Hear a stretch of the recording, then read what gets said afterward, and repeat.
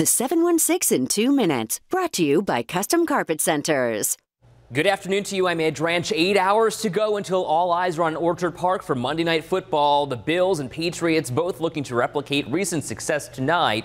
The Bills coming off that massive 31-6 Thanksgiving win over New Orleans, and the Pats coming off a 36-13 victory over the then AFC leading Titans. All of your game day coverage available right here on 7ABC, our WKBW app, and WKBW.com. Kickoff is tonight at 820. In the Grand Island School District, Erie County's Test to Stay pilot program begins today. Students K through 12 who are not fully vaccinated and have been exposed to COVID-19 will get a rapid test before school each day rather than quarantine. Parents will have the option to allow their kids to stay in quarantine or have their kids tested as part of this program.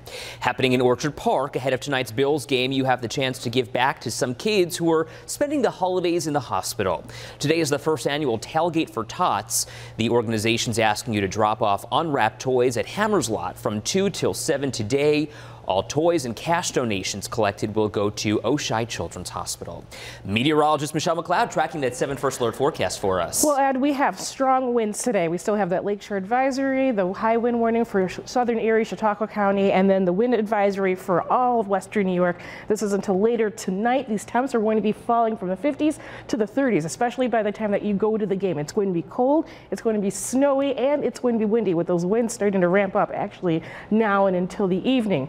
We've got a cold breeze tonight. 20s are going to feel like the teens. We do have some lake effect snow showers, some of which could be heavy at times. Going into your Super 7 day, we're dealing with some more of that snow on Tuesday. Wednesday, dealing with some more of that snow as well. The temperatures pop a little bit, but really what we're focusing on today is the wind and the rain turning into snow.